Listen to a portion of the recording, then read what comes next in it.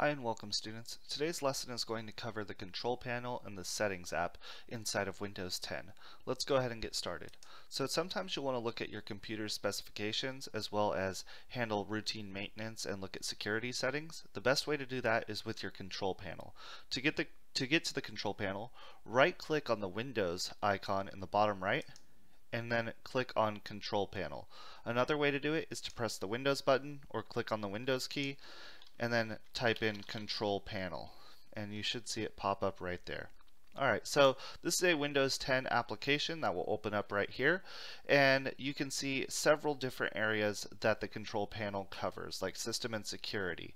So if you wanted to view these by say another way, you could go right here to view by and you could choose large icons or small icons. So if I wanted to see a larger group of settings that I could change, I could click larger large icons right there and I see all of those different settings that I could change there.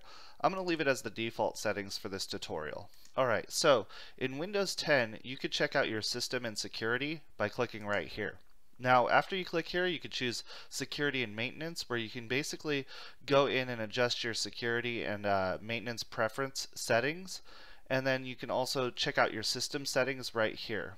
Alright, so those are the main uh, areas that you'll probably work with in here. Um, as far as backup and restore, you could actually backup and restore files in Windows 7, as well as look at your storage spaces and help protect your files from drive failure. So that's what's going on in the system uh, and security area. If you ever want to go back, you could do it right up here in the address bar. It's very similar to File Explorer, and I could click right there on Control Panel, and it'll take me back right here. Network and Internet will be where you can click to adjust your network settings. So for instance, if you're connected via Ethernet cable, you could check that status here, or if you're connected via Wi-Fi, you could also check that status here. Alright, and you can change your home page or your default settings for your internet browsers right there. Under hardware and sound, that's going to be where you adjust your uh, sound and also uh, your display settings for the most part. You could also change your power options if you're working on a laptop in this area, or you could add devices and printers right here. So if you just have a new printer that you want to check and maybe make a wireless signal uh, reach out to that printer, you could add the device right there and search for that via uh, wireless signal. All right, right here is where you uninstall a program or you could click on programs to see a list of all of your programs on your computer. Alright, over here you can manage your user accounts and also your appearance and personalization. I'll go ahead and make a tutorial on the display and personalization area uh, right after this one so if you're interested in learning about that make sure you check that out in the Windows 10 playlist and then over here you will see your clock language and region. So if your clock is not display displaying the right time in the bottom right, you can go ahead and just click that right there.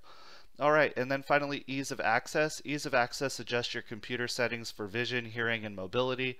So you could adjust those settings right there. So maybe if the font is too small, you could change it in that area. So that's the control panel. Now we're going to look at the settings app. To get to the settings app, you hit the Windows key, and then you click this gear icon under settings. Or you could click the Windows key and start to type settings and you should see it right there. When you open up settings, this is also a place that you can personalize your system settings, devices, uh, where you can basically set up your Bluetooth if you have a Bluetooth speaker or wireless mouse or keyboard, or you can display your uh, notifications or apps that you want to display on your notification area in the bottom right network and, inter and internet and personalization are similar to the ones that you saw in the control panel. Same with accounts and time and language. So some of the settings do overlap in here, um, but you can check that check uh, these out in the settings menu as well as the control panel. So between the control panel and the settings menu, you should basically be able to adjust and personal, personalize your Windows 10 computer. I hope this video has helped you out. If it did, please give it a thumbs up and uh, make sure you subscribe to the channel. Thank you so much for watching and have a great rest of your day.